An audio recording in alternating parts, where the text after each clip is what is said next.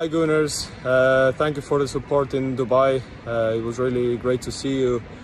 Great, uh, great win, great uh, three goals and a great penalty shootout to finish off. Um, we go again, train again hard, and uh, go against Milan. See you, see you there.